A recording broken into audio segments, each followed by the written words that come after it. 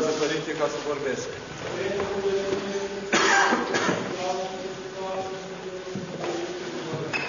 Amin. Iubiți credincioși, Hristos a înviat.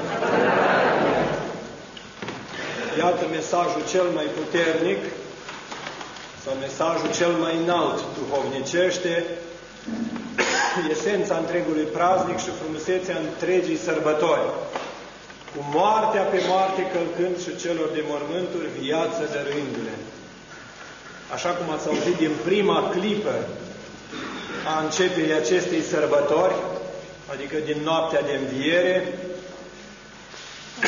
și prin, prin cântările care au fost de-a lungul nopții, această aleasă și frumoasă noapte de mântuire, cum spune Penticostarul, într care s-a săvârșit mulțime de taine. Mulțime nenumărată de taine pe care omul nu poate să o simtă decât cu sufletul. Frumusețea sărbătorii nu stă în farmecul îmbrăcăminții sau în farmecul mâncării, ci stă în farmecul duhovnicesc sau puterea duhovnicească cu care Mântuitorul Iisus Hristos, eu sunt lumina lumii, deci El spune, umblați în lumină ca fiii luminii, vine acum să ne spună prin mesaj de cântare că toate s-au umplut de lumină. Și cerul, și pământul, și cele de desubt. Iar ca să ne putem umplea de lumină, trebuie să înțelegem mai întâi și de toate, în deamănunt și ușor explicat în câte două, trei cuvinte, anumite lucruri care ne dau senzația de lumină. Pentru că cei care au văzut lumina orbitoare au căzut ca niște morți. Și s-au spăimântat atunci când piatra a fost răsturnată de la mormânt. Cu moartea pe moarte călcând, prorocul David arată cu mult înainte de învierea lui Hristos, în Psalmul 67 când spune Înviază Dumnezeu risipindu-se vrăjmașii Lui. Cine erau vrăjmașii Lui? Vrăjmașii Lui erau diavolii. Deci cel, satana, cel care a robit neamul omenesc prin căderea și neascultarea lui Adam. Iar vrăjmașii lui erau toți cei ce au lucrat împreună cu satana la pierderea neamului omenesc. Și fug de la fața lui cei ce-l urăsc pe dânsul. Deci cine poate să fugă decât Duhul Întunericului sau rău? Aceasta este ziua pe care a făcut-o Domnul. Deci iată, n-a fost până acum existentă această zi. Au fost cele șase zile ale creației în care Dumnezeu a lucrat de plin, a armonizat creația începând de la cele văzute, de la cele nevăzute până la cele văzute, l-a făcut pe om, l-a pus într-o odihnă, adică în rai unde i-a spus să mănânce, să dreagă și să facă ascultare fără să greșească cu nimic, și apoi s-a odihnit. De ce s-a odihnit? S-a oprit o clipă, nu din lucrare, din pronie sau din acoperire, sau din supraveghere, pentru că în toată vremea și în tot locul, și în toată clipa, și în tot ceasul, Dumnezeu veghează peste creatură, exact cum spuneam, o clipă dacă Dumnezeu și-ar lua harul de la noi am pieri, sau o clipă dacă ar ridica harul de la noi satana, cu o gheară ar întoarce pământul, dar s-a odihnit în lucrurile sale și a meditat în sfatul trăim ce trebuie să mai facă. Și atunci, în sfatul Sfintei Trăim, cum v-am spus de mii de ori, s-a auzit acel murmur, omul va cădea, Fiul îl va ridica și Duhul Sfânt îl va mântui. Iar acum, la înviere, în această zi pe care a făcut-o Domnul, Vine Dumnezeu să lucreze, Tatăl meu lucrează și eu lucrez. Hristos spune aceasta. Vine omul, vine Hristos în contact cu omul, cu lumea căzută, ca să o ridice. Iar această ridicare, sigur, este cu respingere. Respingerea așa are originea încă din rai. De ce ai greșit? Ea, El m-a îndemnat. Deci iată, Dumnezeu greșește și nu omul. La fel și pe pământ. Acesta scoate pe dragi cu Domnul dracilor, cu Belzebut. Acesta hulește. De unde are acesta putere să ierte păcatele? De unde are acesta putere să spună că este pâinea vieții sau Fiul lui Dumnezeu când El este Fiul lui Iosif și al Mariei? Deci iată mărturii spuse de popor care resping chemarea sfântă a lui Isus Hristos. Și ne vom întoarce imediat cu gândul și vom merge imediat unde v-am spus, la această noapte de mântuire. Eu le-am pus într-o anumită ordine ca să le luăm frumos și sistematic, să vedeți câte lucruri minunate s-a făcut într-această noapte de mântuire. Noapte de mântuire a fost venirea Mântuitorului în lume la miezul nopții în Ieslea din Betleem. Dar n-a fost cea mai plină de lumină. Pentru că oameni, magi, îngeri, toți au cântat și s-au închinat stăpânului. Iată de data aceasta nimeni nu este în măsură să îi se închine, ci toți se spăimântă și se tulbură, doar niște femei de ale noastre ne-au spus că au văzut arătări de îngeri și că i-ar fi sărutat picioarele și că i-ar fi vorbit și le-ar fi spus bucurați-vă.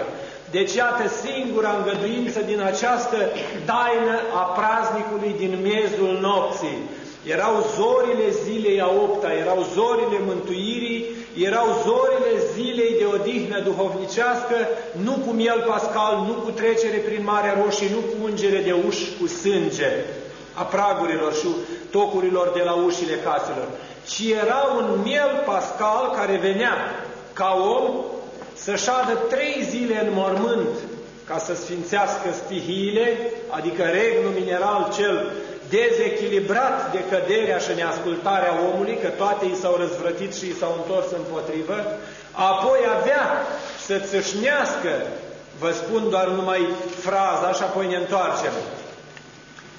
Izvorul vieții a țâșnit izvoare cristalină de lumină, după cum Evanghelia spune în toată lumea, iar puterea Harului Divin a spălat orice urmă de păcat de pe fața lumii.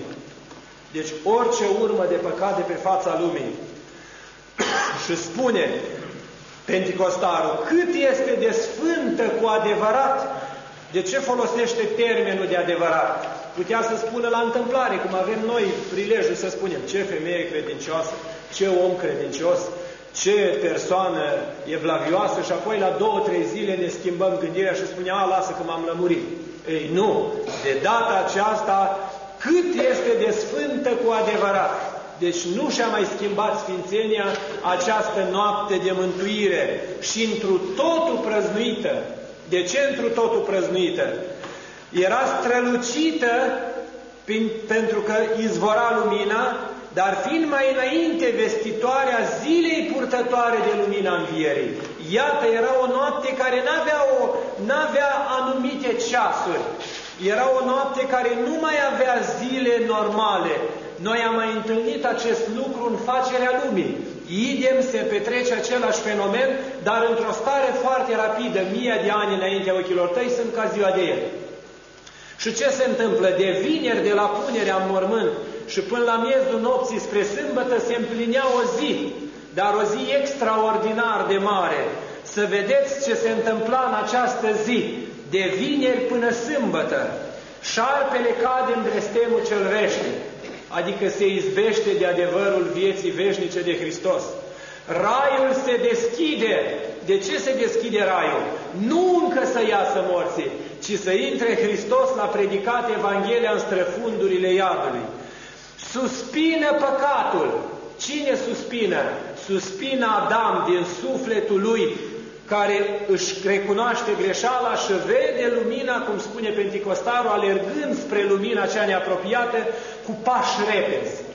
Deci alergau cu pași repezi pentru că se auzise lumină spre descoperirea neamurilor. Se tânguie iadul de covârșitoarea lumină. Dar cum se tânguie? Pentru că intră împăratul cel veșnic care a fost la înviere, intră împăratul cel tare și puternic în războaie, care erau războaiele? Care era războiul care era dus? Era războiul împotriva satanei. În primul rând, împiedecarea zămislirii, fiindcă el ar fi păzit tot timpul fecioarele să le piardă, dar această fată logodită, o fecioară de 15 ani, intră în arena lumii într-o smerenie desăvârșită și devine cea plină de har, cum v-am spus când am vorbit la Buna Vestire. Cine este frumoasă ca, curată ca dimineața și frumoasă ca zorile? Este împărăteasa rugăciunii sau rugăciunea întrupată. Ea, însuși, ea însăși era o rugăciune, iar El, Hristos, era rugăciunea întrupată în ea prin Duhul Sfânt. Și iadul se tânguie de covârșitoarea lumină. De ce? În primul rând, pământul se sărută cu cerul. Cerurile Spune acolo mai departe frumos în acatistul bunei vestiri, cine vrea să fie atent. Cel ce ai plecat cu pogorârea cerurile, spune într-o parul, în porunca cea cu taine. Iată că le-a pogorât întâi la pântecele fecioarei cerurile, iar acum le pogoară în străfundurile pământului. Și ce se întâmplă? Un lucru minunat. Adam și Hristos, odată pentru totdeauna își dau sărutarea păcii. Deci s-au împăcat și fug de la fața lui cei ce urăsc pe dânsul. Cine fuge de data aceasta? Satana și Iuda. Deci sunt cei ce fug de la fața lui și îl urăsc pe dânsul. Mai departe, Eva vine și se închină sfioasă, nu se apropie de Fecioara Maria, că n-are de unde, Fecioara este lângă cruce. Dar în lumina cea pururea fiitoare, închinându-se lui Hristos, își cinstește, îi cinstește mama. Iată prima închinăciune adresată Maicii Domnului, Maxim Mărturisitorul. Și zice, Eva sfioasă, ca să vedeți ce frumos spune chiar troparul. Zice, în această noapte de lumină, Eva străvechea strămoașă se vede sfioasă și mică în fața Mariei cea plină de daruri și se închină dătătoarei de viață. Deci nu se închină Mariei în realitate, ci în Duhul rugăciunii se închină Fiului pentru Fecioară. Deci iată mărturie încă o dată că și Eva și lacrimile Evei într-o bucurie le-a întors. Spune troparul binecuvântării învierilor, învierii. Zorile zilei a opta sau eschatologia plecării dintr-o literă de lege veche, adică dintr-o dintr-o circumscriere omenească, fundamentalistă, ă, formalistă, vine să fie izbucnită de har. Harul vine și spală taina întregului păcat, deci vine și spală orice urmă de păcat de pe fața lumii, dar în același timp tot izvorul vieții izvorăște izvoare de ape cristaline ale Evangheliei în toată lumea. Deci, Harul ce face? Vine și pune Evanghelia în lucrare. Spune în, spune în cântările lui Moise că Evanghelia a slăbit. N-a slăbit. Hristos vine și o pune în lucrare. Hristos vine și o trimite în toată lumea prin cei 12 apostoli. Spune mai departe, deci spune mai departe că pământul s-a sărutat cu cerul. Pământul s-a sărutat cu cerul din două motive lucru discutat și întâlnit care trebuie să-l aveți în minte. În clipa când Adam a greșit, primul care i s-a răzvrătit a fost raiul. Deci nu l-a mai înțeles pe Dumnezeu, nu l-a mai văzut aproape, s-a văzut gol, s-a văzut rușinat, s-a văzut plin de patim și a fost alungat. Pământ ești și în pământ vei merge. A păstrat Dumnezeu o părticică de rai nealterată de lucrarea omului, tocmai dintr-un simplu motiv, dar esențial ca omul să aibă spre ce să tindă, să aibă spre ce să dorească, să aibă spre ce să aibă chemare.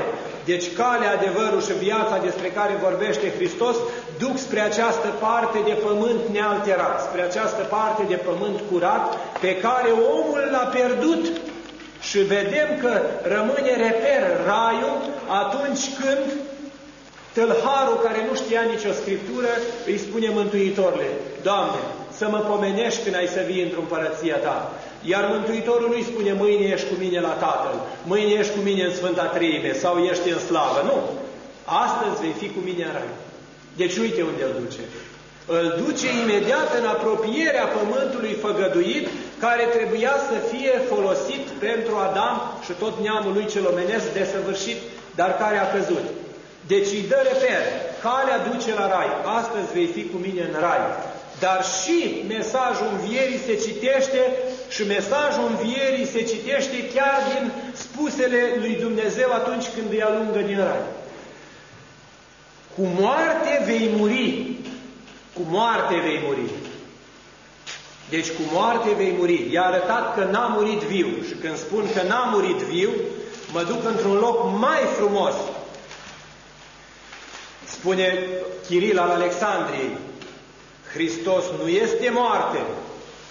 El este o moarte nu de orice fel. Este moarte plină de iubire și lumină care copleșește întunericul și dezvinarea. De aceea spune Hristos a înviat din morți. Putea să spună Hristos s-a sculat din morți. Sau Hristos a fost mort și s-a ridicat din morți. Nu, Hristos a înviat din morți. Eu sunt calea, adevărul și viața. Și a folosit termenul de viață, deci folosindu-se și de cuvântul viață cum? La sensul că a înviat. Deci se face prezent. Aceasta este învierea lui Hristos, prezența Lui. Făcându-se, ascultați mai departe, cale firii omenești la nestricăciune. Deci de aceea a înviat din morți. Ceilalți morți nu l-au înțeles. Și o să vedeți de ce nu l-au înțeles. Chiar și atunci, în momentul când se dă piatra jos de la ușa mormântului, deci lumină puternică s-a făcut și cu tremur mare și piatra a fost răsturnată. Iată ce se petrece aici.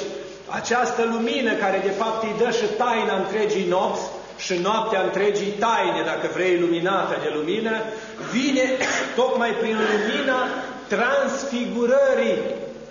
Ce se întâmplă? La tabor, suindu-se ca oameni, s-au privit unii pe alții. Au ajuns pe munte, Hristos s-a suit mai sus, s-a schimbat la față, a vorbit cu Moise și Ilie, iar apoi un nor puternic și luminos a cuprins totul și apostolii au căzut cu fața la pământ. Dar cum au căzut cu fața la pământ? Au căzut în bucurie. Pentru că în clipa terminării extazierii respective, apostolii ce spun? Doamne, bine este să stăm aici și să facem trei colibe. Una ție, una lui Moise, una lui Ilie. Deci se vede că au și văzut în acea răpire duhovnicească, au avut deschiderea minții să vadă cele trei mari figuri spirituale. Deci văd fața lui Hristos, învățătorul lor, dar văd și pe Ilie și pe Moise. Întâi ca să nu mai creadă în reîncarnare și a doi să vadă că dincolo mai există o lume. Deci lumea planului transcendental sau dincolo de înțelegerea omenească. Și în clipa aceea radiază pacea și bucuria. Dar la miezul nopții, și cad cu frică și cu spaimă ca niște morți. Ca niște morți, putea să spună cad, ca, cad morți. Nu cad morți, ca niște morți. Lumina lui Hristos, precum uh, urechea lipită în grădină uh, slugii arhireului, uh, precum cuvântul mii de legiuni îngerești pot pierde totul într-o clipă. Nu mă plângeți pe mine, plângeți-vă pe voi, fie Ierusalimului. Deci iată cuvinte profetice spuse de Mântuitorul în drumul Calvarului. Nu sunt altceva decât un argument încă în plus că lumina cea puternică era prezența lui Dumnezeu în acel loc. Îngerii sunt acele creaturi slujitoare între om și Dumnezeu. Îngerul nu răstoarnă piatra până nu primește porunca. Și drept dovadă că porunca este primită să răstoarne piatra, care este dovada? Întâi că apărând lumina orbitoare, și cum spune Penticostarul, nu se știe timpul exact, unii evangeliști identifică că cealaltă Maria, adică Maria lui Iosif, Fecioara Maria, cum mi se spunea nevasta lui Iosif, deci despre Maica Domnului, referindu-se evangeliștii. Alții spunând că ar fi fost Maria lui Cleopa, alții spun că relatarea ar fi că Maria Magdalena, chiar cu Maica Domnului, apropiindu-se spre miezul mort, nopții de mormânt, nemai având răbdare să aștepte, văd lumina orbitoare. Dar de ce văd lumina orbitoare?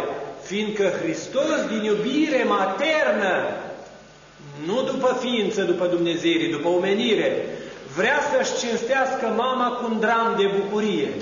Sabie va trece prin sufletul tău și durerile nașterii vor fi într-o răstihnire a lui. Dar, în clipa aceea, lumina este văzută Deci și orbitoare, și puternică, și cu tremurătoare, ca tapeteasma templului s-a rupt în două în clipa, în clipa încetării omenește a lui Hristos din viață. Deci când trupul, logosul, ajunge să își dea Duhul pe cruce, se rupe catapeteasma, se întunecă cerul, se astupă soarele. Iată acum la înviere invers, pământul se cutremură. Iar acea lumină nu mai era de data aceasta chipul frumos al lui Hristos plin de lumină, ci era Dumnezeirea în puterea ei apofatică. Ce este Dumnezeu? Lumină, nu-i lumină, e mai presus de izvorul luminii. Mai căscați, să o dau să vă treacă. Deci, era mai presus de izvorul luminii. Era o lumină orbitoare și puternică nedefinită. Dar în acea lumină orbitoare nedefinită nu era altceva decât cuvântul pe care îngerii îl vor explica celor două, miron, celor două femei. Și o să vedeți ce frumos le explică. Să fiți foarte atenți. Pentru râvna lor curată, deci, au avut această vrednicie. Îngerii duc un, un dialog, se dau și a fi învățători, deci sfătuiți de Hristos, spune de lor ca să știe, și spune, de ce căutați pe cel viu cu cei morți ca pe un om? Este prima întrebare, deci care le-o adresează. De ce îl considerați om? Nici acum nu ați înțeles că este Dumnezeu? Și eu am pus aici ca pe un om. De ce ca pe un om? Ei cred, ei cred că Hristos a fost numai om a fost un simplu învățător, deci în mintea lor. De aceea s-au și înfrăștiat și au și fugit, că puteau să fie primii martiri înaintea lui, lui arhidiaconul Ștefan Apostolii și atunci ar fi fost nevoie să se tragă la sorți și pentru alți apostoli. Asta o ipostaza ideii. Dar se spune cu argumente din Scriptură greșeala lui Adam a fost ucigătoare de om, nu de Dumnezeu. Deci de aceea nu le îngăduie îngerul femeilor să cugete omenește. De ce îl căutați pe cel viu între cei morți ca pe un om? Și acum le dă partea dogmatică care nici eu nu pot să o explic, că n-aveam de unde să știu să fiu prezent, nici noi cei din biserică, ci numai îngerii care erau de, acea, de aceeași lucrare duhovnicească și erau slugile sau slujitorii lui Hristos, deci în mesajul învierii. Zice, pe cel ce este într-o lumina cea pururea fiitoare, deci le dă argumentul luminii. Ați văzut de ce era lumină la mormânt? Pentru că Hristos era în lumina cea pururea fiitoare. O clipă lumina n-a lipsit. O clipă lumina n-a fost absentă din cer. O clipă Dumnezeu n-a fost n-a existat o clipă în care Dumnezeu să fie inexistent sau fără Duh sau fără cuvânt, ci în toată clipa, deci în lumina cea pururea fiitoare, iar completarea spune mai departe, unde nu este umbră de schimbare. Acolo nu se schimbă nimic. Asta este legată de antinomiile Sfintei Trei. Lucrarea intertrinitară, adică Tatăl, Fiul și Duhul Sfânt lucrează împreună, voit, știind unul de celălalt, nu se despart la întâmplare, și apropierea lor în iubire și lumină. Deci, de data aceasta, Hristos era în lumina cea pururea fiitoare și ieșind din mormânt, cum? Ca prin ușile încuiate, ca prin fecioara, ca, prin, ca la Emaus, prin ziduri când a dispărut și i-a lăsat cu cina binecuvântată, adică cu liturgia împlinită pe cei doi apostoli pentru dragostea inimilor, și apoi foarte frumos apărând în grădină în fața Mariei care să tânguie grădinarule unde l-ai pus. Grădinarule unde l-ai pus este tot o înțelegere a minții slabe femeiești. În ce sens? Ea n-a înțeles că cele ale lui Dumnezeu după înviere nu mai sunt ca cele de înainte de înviere, când Mântuitorul înainte de a se sui la Tatăl le-a spus categoric a ridicat mâinile și ochii la cer, nu știu dacă și mâinile, oricum a ridicat ochii la cer și a spus, Tată, preamărește-mă ca să te preamăresc. Deci cum putea să-L preamărească pe Hristos decât dându-i fața cealaltă, fața duhovnicească, fața Harului cea nouă, de care oamenii aveau toți nevoie. Și ca să vedeți că aveau toți nevoie, spune așa, Cuvântul lui Dumnezeu, Chiril al Alexandrei, este viață după fire, deci veșnică viață și trăiește de apură. Deci n-avea cum să existe el ca un mort între cei morți. Nu s-a terminat cu atât dialogul. ci îngerii și-au permis mai departe și vom vedea că nici aceasta nu este o minciună, ci este o relatare adevărată, la buna vestire, Fecioara Maria din nou la nedumerire își permite și întreabă, deci ea, cinstită, smerită și curată, nu spune așa? Ce-mi vestești mie zămislire de nuntă când eu nu știu de bărbat? Duhul Sfânt, răspunsul îngerului. Aveam noi undeva să știm oamenii această taină neexplicată de îngerul care era de față cu stâlparea de crin în mână? Duhul Sfânt și puterea celui prea înalte va umbri. Domnul este cu tine. Iată mărturie concretă din cer. E, acum lucrul se schimbă. Tot îngerii vin și le spun femeilor la mormânt. N-ați înțeles că Hristos trebuia să pătimească și a treia zi să învieze? Deci îngerii le vestesc. Deci iată, evangeliștii n-au scris de la ei, ci au scris relatarea îngerească. N-ați înțeles că Hristos trebuia să pătimească și să învieze a treia zi? Deci le-a dat relatare clară. Și atunci a spus, mergeți și spuneți apostolilor. Și sigur că au plecat imediat mesagerii să vorbească apostolilor. Ei, această lucrare a Duhului Sfânt, deci această lucrare a Duhului Sfânt, s-a vestit a fi lucrătoare și slujitoare Fiului în toată vremea. De ce?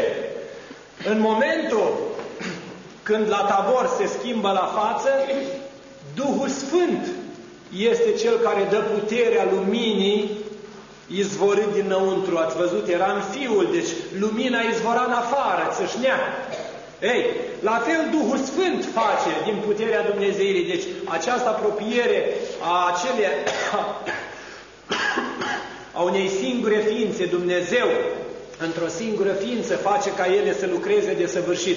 Sâșnește valuri de lumină și un biet neputincios înger, care este un duh ascultător, ia cu degetul și dă piatra la o parte. Dacă satana are putere cu o gheară să întoarcă pământul, cum spun Sfinții Părinți, la fel și îngerul au avut putere cu pana unei aripi duhovnicești să dea piatra la o parte. De ce?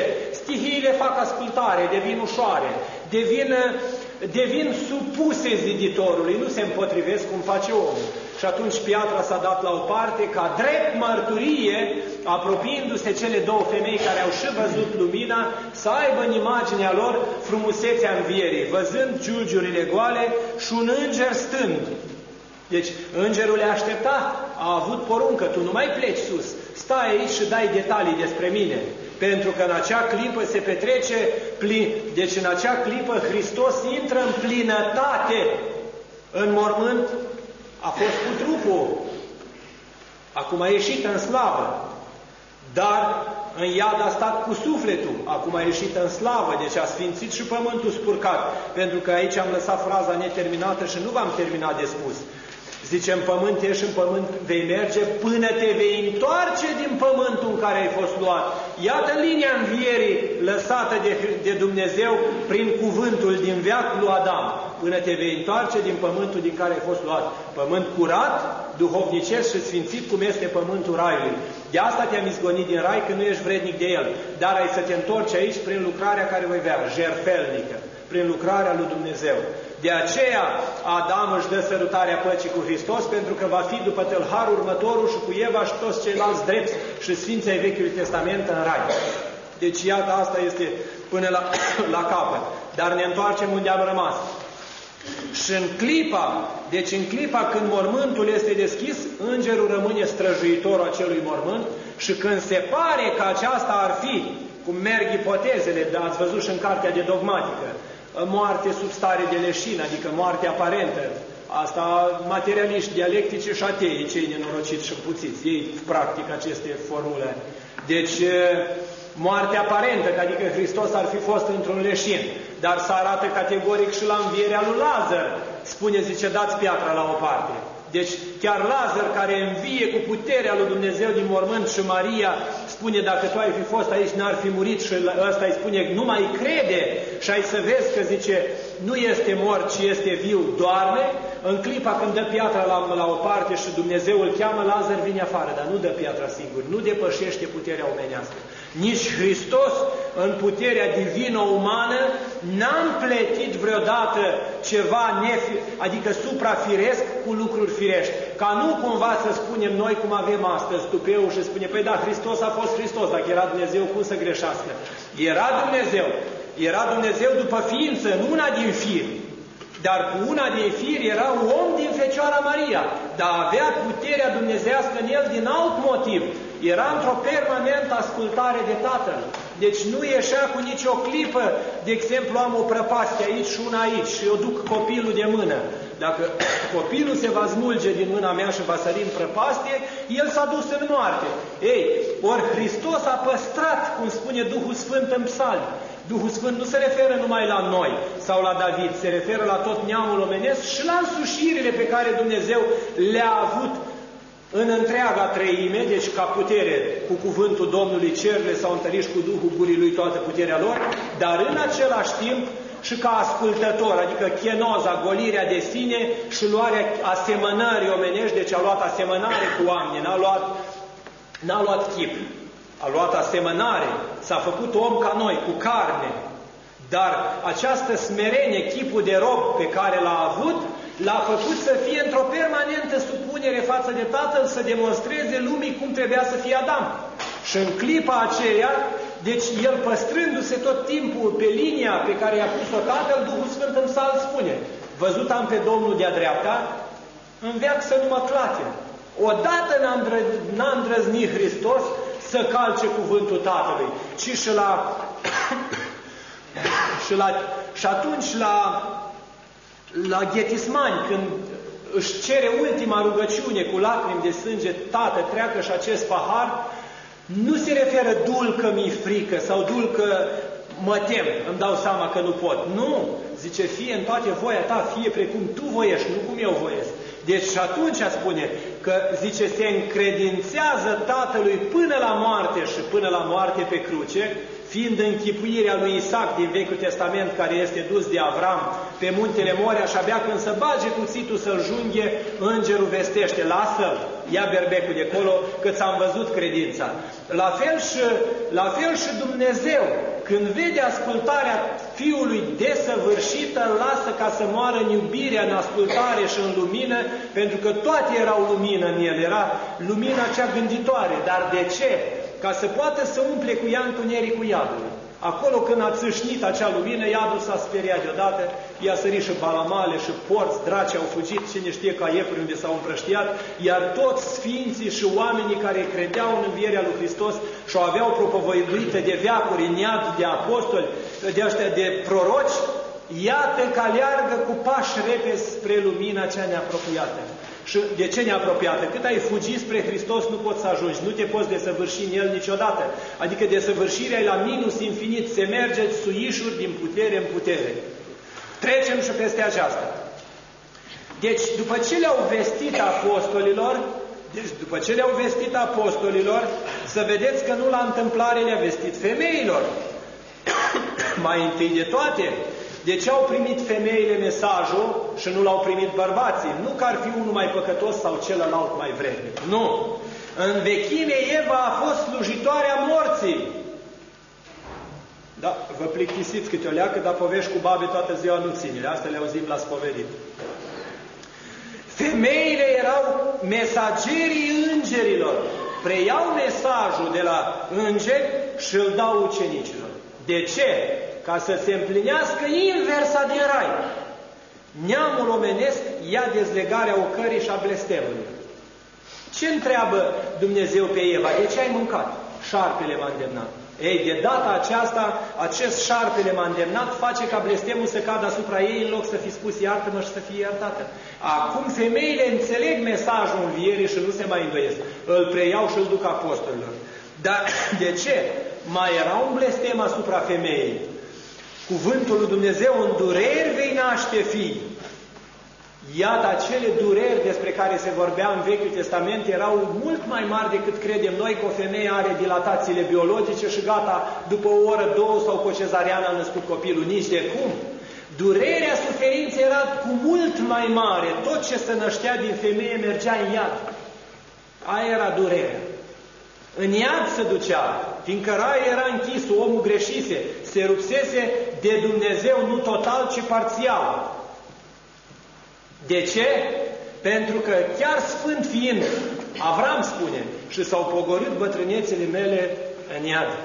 A stat acolo în sânul lui Avram în latura dreptilor, dar a stat în iad, n-a văzut lumină, n-avea parte de rai. Aia era durerea.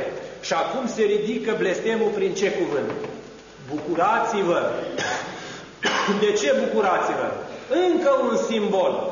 Și un simbol groaznic, frumos, Adică nu groaznic ca frică, groaznic ca gândire. Dumnezeu cum de, de ieri și până astăzi, în 5108 ani, deci cât a durat această lucrare a prorocilor în Vechiul Testament până la clipa învierii, El face taina restaurării ca și cum ai lucra ca un templar. Astăzi cioplesc deja ușa și pun sticla cu gergevele. Ei, în aceeași clipă Dumnezeu își aduce aminte că Eva s-a ascuns de el în rai când i-a auzit tălpile pașii. Iată, în acea clipă, când le spune mesajul, bucurați-vă și dispare spaima, ce fac femeile? Vin și sărută picioarele. Adică nu se mai tem de acele picioare care de acum vor fi mântuitoare. Nu se mai tem de acele picioare care tot Eva temându-se de ele și fugând și ascunzându-se, auzind lepăitul pașilor, femeia păcătoasă le toarnă mir, le spală cu lacrimi, le șterge cu părul capului. Deci iată cu câtă bucurie Dumnezeu primește iertarea, dar o primește tainic după 5.000 de ani, dar nu uită că trebuie să o dea. Și se apropie de mironosițe, deci de cele două. Și sper să fi fost Maria Magdalena, cum spune Ioan Gură de Aur, și Maica Domnului. Și Maria Magdalena, termenul este cealaltă Marie, îngerul știe. Îi sărută picioarele, dar a doua oară, când se întâmplă din nou sărutarea picioarelor, deci când îl recunoaște după voce, nu se mai admite sărutarea picioarelor. Gata, ți ajunge, că doar nu o să stai toată ziua să mă pup. Ci lucrul se transformă în cu totul altceva. V-ați îmbărbătat, v-ați umplut de lumină, v-ați bucurat, v-am dat puterea să înțelegeți, îngeri v-au vorbit, iar doi îngeri de lumină purtători am zis, de ce plânge o femeie? Asta este deja a doua întoarcere la mormânt. Pentru că apostolii s-au îndoit și s-au îndoit tare. Zice că în drum spre Emaus, mergând, apostolii se gândeau triși îngândurați că păstorul și profesorul lor și, și acel ce trebuia să le fie împăratul și salvatorul de, și de Imperiul Roman și de boli și de foame și de necaz a fost prins și chiar îi spun străinului, zice, Ești străin la Ierusalim, tu n-ai auzit ce au făcut mai mari noștri și căpetenile, arhiereii, zice, și fariseii și cărturarii? Zice, nu știi că au prins pe Iisus ce se chema Hristos, care noi știam că e mare profet și trimis al lui Dumnezeu? Și ce le spune? Zăbavnicilor cu mintea. Pentru că înainte de a le spune zăbavnici, ei vin în fața lui Hristos și deja aduc argumentul. Zice, și niște femei de ale noastre, au venit și ne-au spăimântat că au văzut vederi de înger, dar nu cred că e adevărat. Maria Magdalena s-a întristat pe două motive. Una fiind femeie și femeia fiind inferioară Vechiului Testament, prea puțin contact cuvântul ei. A doua, fiind, fiind pătimașă, deci fiind din care Mântuitorul scosese șapte diavole, adică cele șapte păcate, n-avea credibilitate și a doua ce a fi spus? O fi fost o sentimentalistă din asta, știți, care vin și plâng pe la icoane. Și n-au, nu i-au luat de bună cele spuse. S-a întristat, a plâns și a pornit a doua oară spre mormânt. Dar ajungând a doua oară la mormânt, s-a umplut și de îndoială. Aia a fost greșeala. Deci nu s-a umplut de îndoială că Hristos n-a înviat.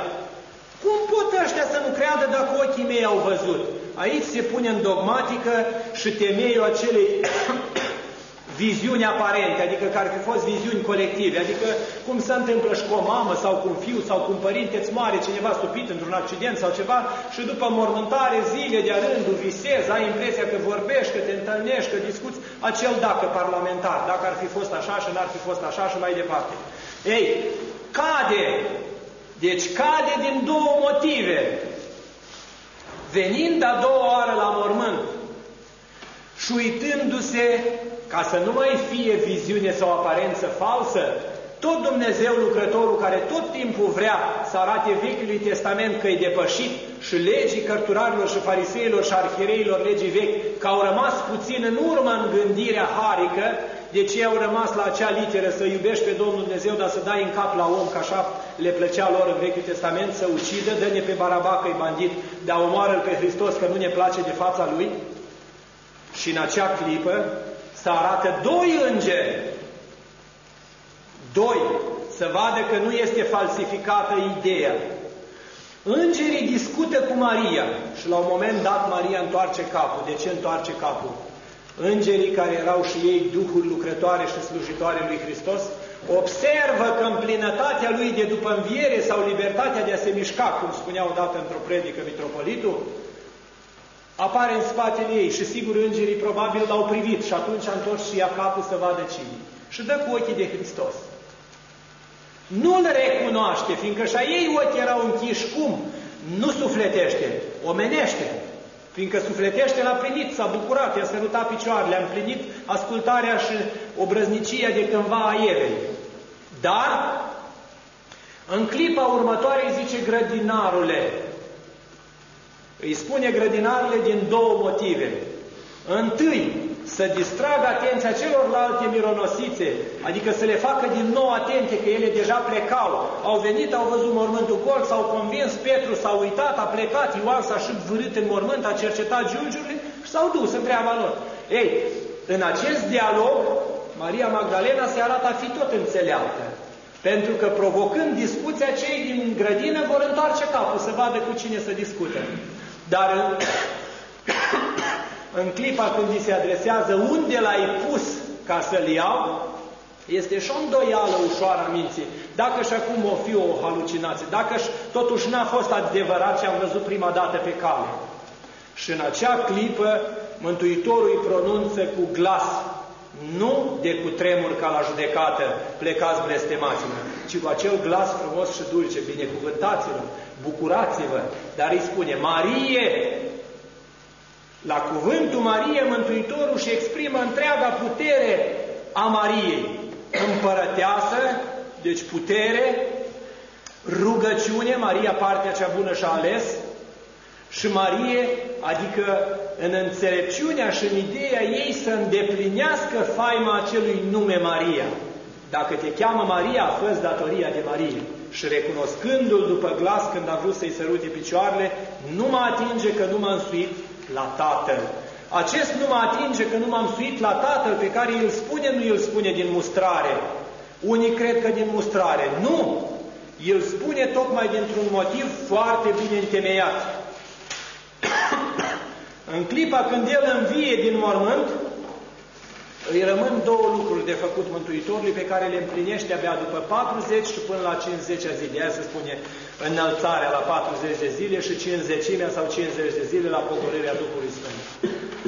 Îi mai rămăsese Mântuitorului două lucruri de făcut. Să îndumnezească firea umană, cum? Suind-o de-a dreapta Tatălui. Și asta se face într-a 50-a zi. Ioan, capitolul 12, cu versetul 32. Eu când mă voi sui la Tatăl, pe toți îi voi trage la mine. Adică cum pe toți? Tot neamul omenesc va avea puterea în Dumnezeirii sau a, a, a unirii prin har cu Dumnezeu, dacă trupul meu ăsta care l-ați văzut răstignit și acum a înviat, eu îl duc și îl pun în mâna Tatălui. Pentru că nu era pus, numai cuvântul veșnic era pe scaun cu Tatăl. Firea umană divinizată prin înviere, deci trupul duhovnicesc al lui Hristos încă n-ajunsese la Tatăl.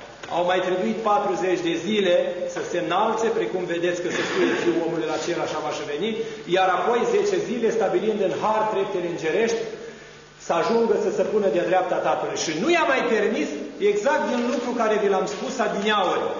El fiind viață, deci nefiind niciodată, deci nefiind niciodată uh, mort, trebuia să-l ducă și pe om să-l facă veșnic viu. Adică omul să moară, să se unească cu Hristos, fiindcă el dă taina. Zice, grăuntele de griu, dacă nu cade în pământ, nu rodește. Și după ce rodește, aduce mai multă roadă din el. La fel și Hristos a înviat și a furat toate boabele de grâu din iad și le-a dus la Tatăl să facă din el pâine veșnică. Deci ce face? Face o, o biserică biruitoare care nu va fi copleșită nici de gura sectarilor, nici de gura tâlharilor, nici de gura ateilor, nici de gura dușmanilor, nici de gura tuturor făcătorilor de rele, cum Mântuitorul le spune, vulpi, șerpi, Hristos mincinoși, îmbrăcați în piei de oaie și așa mai departe. Dar îi mai rămâne încă un lucru, nu mă atinge. De ce să nu mă atingă? Nu se potrivește lumea văzută cu lumea nevăzută.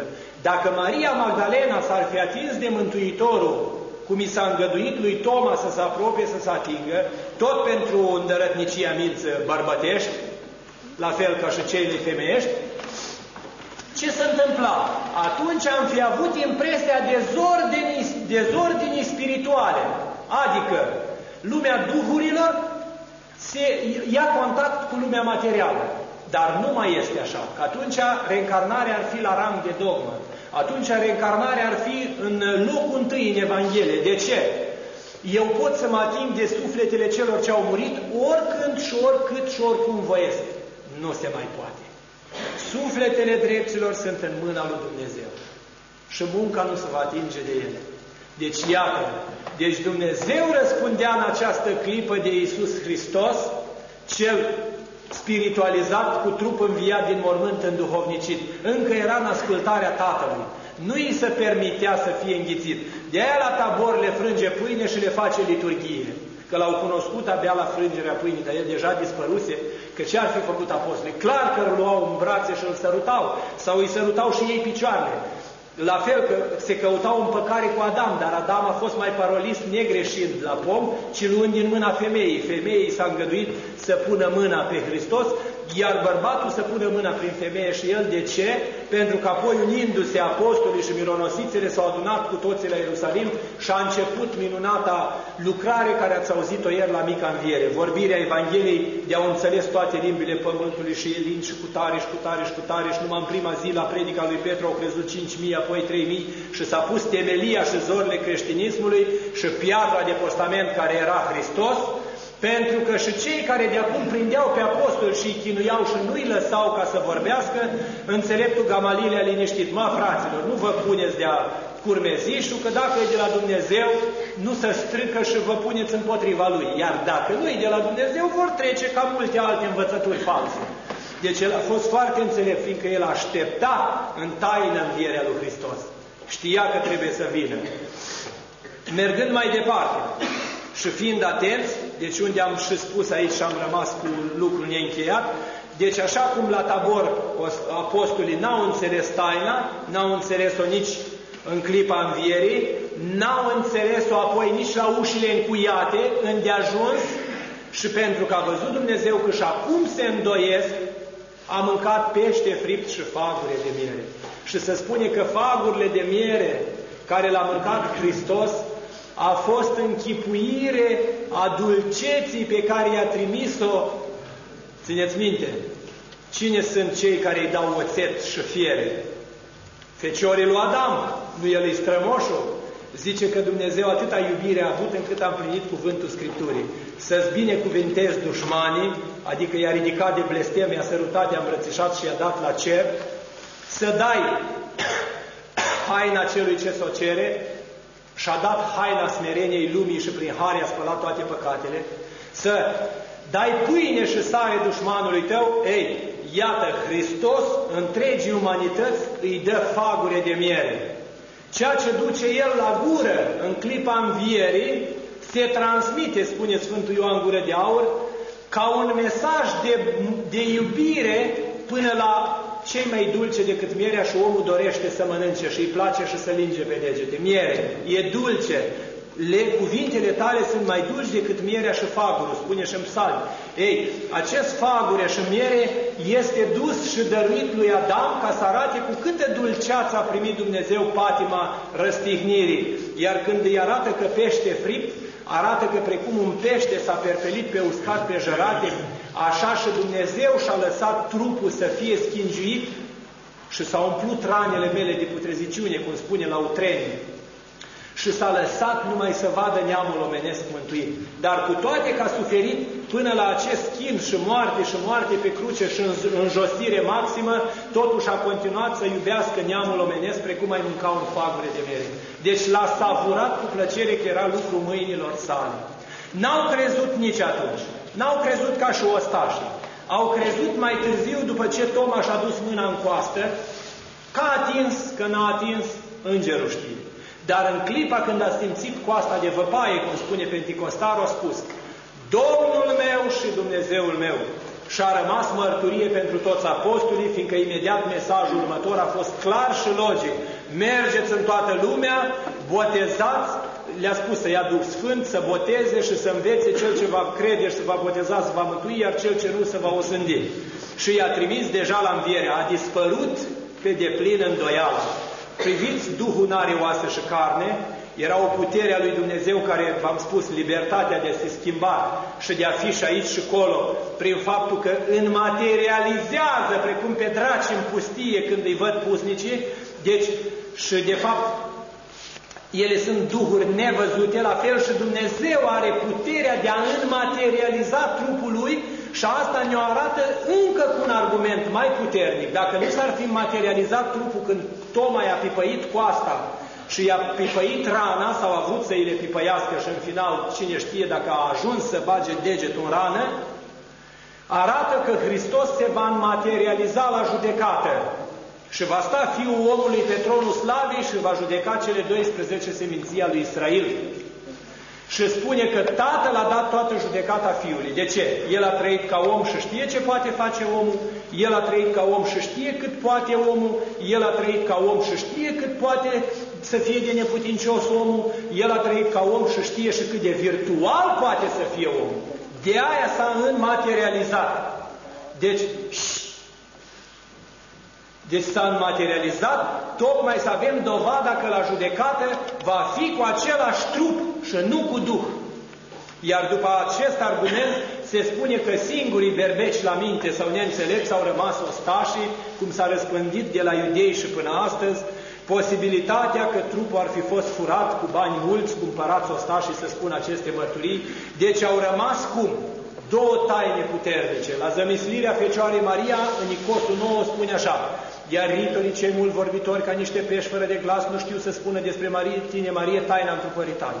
Ei, iată că și de data aceasta, în taina nopții, deși bucuria și învierea vine să spere, să lumineze și cerul și pământul și cere de desubt, aceștia rămân în formalismul și în zavistea și în egoismul lor și spun că a fost furat.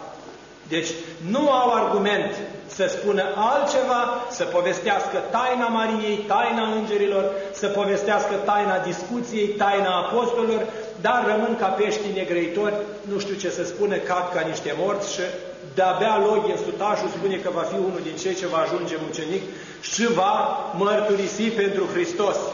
Cam aceasta despre înviere, pa praznic al praznicilor și sărbătoarea sărbătorilor. Uh, izvor de nestricăciune, mormântul rămâne izvor de nestricăciune pentru că din el viața a izvorât. Este locul unde și până astăzi, la înviere, Sfânta Lumină, în fiecare an, vine să bucure credincioșii, tocmai prin faptul de a ne arăta că ne arăta că este argument clar Sfânta Înviere și nu este o minciună.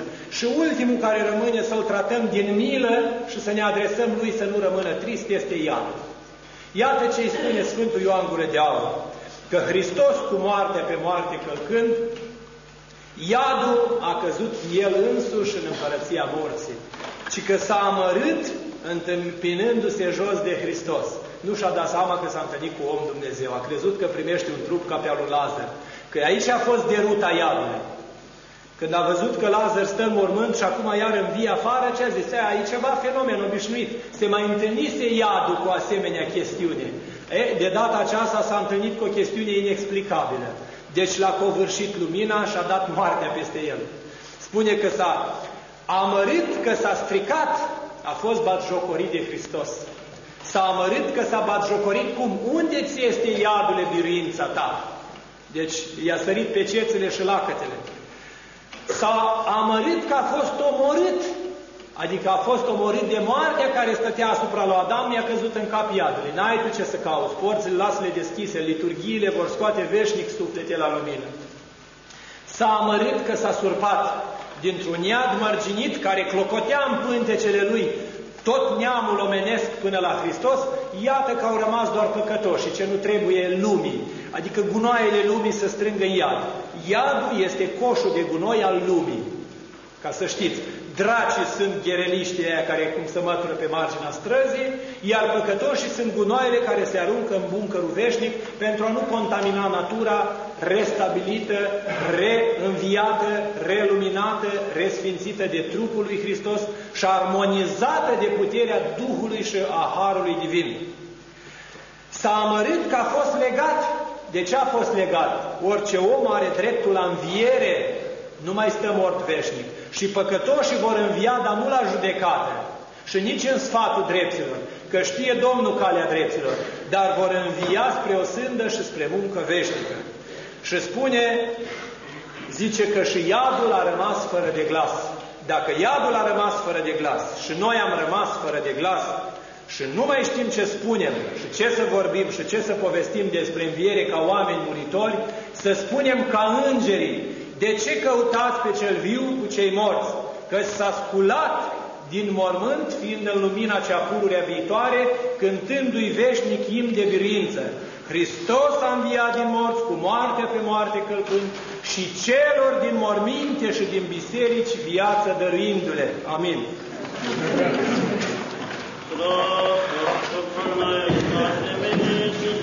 Amin.